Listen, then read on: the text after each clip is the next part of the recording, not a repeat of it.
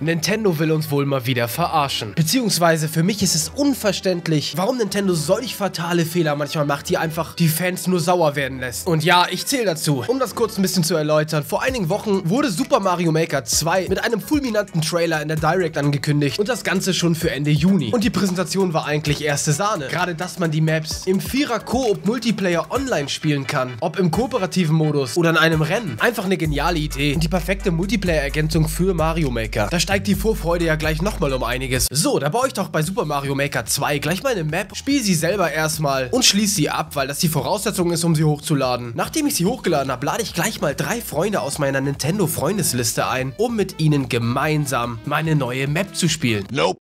Leider nein, Nintendo lässt das nicht zu. Was fällt dir auch ein, deine Mario Maker Map mit deinen Freunden online zu spielen? Mit irgendwelchen random Leuten aus anderen Ländern, die du nicht kennst, macht das doch viel mehr Spaß. Nein, jetzt mal Real Talk. Also, Nintendo hat wirklich gesagt, es ist nicht möglich, mit Freunden seine Mario Maker Maps zu spielen. Also, sie machen einen Multiplayer-Modus für Mario Maker. Und man kann seine eigenen Karten und die Karten auch von Freunden nur mit einer random Spielersuche starten. Und die Begründung von Nintendo ist natürlich mal wieder Gold. Sie begründen nämlich alles mit den globalen Ranglisten, dass sie dadurch dadurch verfälscht würden. Also, jede Map, die du hochlädst, hat ja dann auch eine globale Rangliste und man kann dort aufsteigen. Und sollte man die mit seinen Freunden spielen, mit denen man sich gleichzeitig noch unterhalten kann, könnte man kooperativ das Ganze beeinflussen und würde sich in der Rangliste hochcheaten. Das ist die Begründung von Nintendo und deswegen lassen sie das Ganze nicht zu. Jetzt frage ich mich, warum nicht einfach einer von Nintendos Leuten mal auf die Idee kommt, dass die Multiplayer-Matches, die mit Freunden stattfinden, einfach nicht in die Rangliste gezählt werden, aber sie trotzdem möglich sind, dass die globalen Ranglisten einfach deaktiviert werden für diese Rennen. Warum kommt niemand auf diese Idee. Es ist zu kompliziert. Die Nintendo Switch Online-Mitgliedschaft kostet für drei Monate 8 Euro. Was natürlich nicht viel ist, aber trotzdem haben sie einen bezahlten Online-Service eingeführt, wo wir nichts für kriegen. Was übrigens auch dazu kommt, ist, dass bei anderen Online-Services kann man wenigstens auch eine, einen Sprachchat aktivieren und sich unterhalten, was ja bei Nintendo nur über eine App geht. Außerdem kann man sich ja nicht mal über die Freundesliste einladen bei Nintendo. Also man müsste, wenn überhaupt bei Mario Maker wieder so ein System wie bei Mario Kart 8 Deluxe machen. Mit einem Raum erstellen und einem Code, den man eingeben muss und sonstiges als würden wir noch im Jahre 2002 leben oder so. Und ich kann echt nicht verstehen, warum Nintendo sich selber immer so ins Ausschießt. Also warum? Das muss mir wirklich einer mal sagen und ich hoffe, ihr seid auch meiner Meinung. Und man kann nur hoffen, dass der Shitstorm, der gerade im Internet stattfindet gegen Nintendo, dass sie das wahrnehmen und an einer Lösung arbeiten. Und ganz ehrlich, ich habe ja schon die Lösung genannt. Es ist ja nicht so schwer. Sie müssen nur die Listen deaktivieren während der Multiplayer-Matches. Und dann können wir auch eventuell Mario Maker 2 mit unseren Freunden aus der Liste spielen und nicht nur mit irgendwelchen Randoms. Und als wäre das noch nicht genug, gibt es noch weitere News zu Mario Kart Tour Tour, wo ich ja auch schon ein Video gemacht habe, wo ich auch schon befürchtet habe, dass das Ganze ziemlich viel mit Mikrotransaktionen verseucht sein wird. Und ja, die Bestätigung kommt immer mehr durch von den Beta-Testern von Mario Kart Tour. Das Mario Kart für die Smartphones. So wie es aussieht, ist das Ganze wirklich mit einem Ausdauersystem ausgestattet, wie man es von den billigsten Pay-to-Win-Spielen aus dem App Store kennt. Dass man wirklich einen Ausdauerbalken hat, der sich über Stunden füllt oder man kauft Ausdauer mit Echtgeld. Und als wäre das noch nicht genug, hat man sogar richtige Pay-to-Win-Elemente drin. Und zwar zwar mit seltenen Fahrern, seltene Fahrzeugelemente, die man per Zufallsprinzip ziehen kann aus sogenannten Paketen oder Lootboxen könnt ihr sie auch nennen. Und seltene Fahrzeugteile bzw. seltene Fahrer haben Vorteile bei bestimmten Strecken, wo man dann natürlich besser abschneiden kann, was natürlich ein klares Pay-to-Win-Element ist. Und als wäre das noch nicht genug, kann man dort auch nicht seine Freunde einladen und ein klassisches Rennen fahren, wie bei Mario Kart. Das wird da auch nicht möglich sein. Aber da warte ich lieber noch den Release ab, bevor ich da ein einzelnes Rant-Video raushau. Schreibt Schreibt eure Meinung in die Kommentare und versteht mich nicht falsch, ich bin ein riesen Nintendo-Fan und bin einfach nur enttäuscht für die Entscheidungen, die Nintendo manchmal trifft. Ciao und tschüss, euer Theo.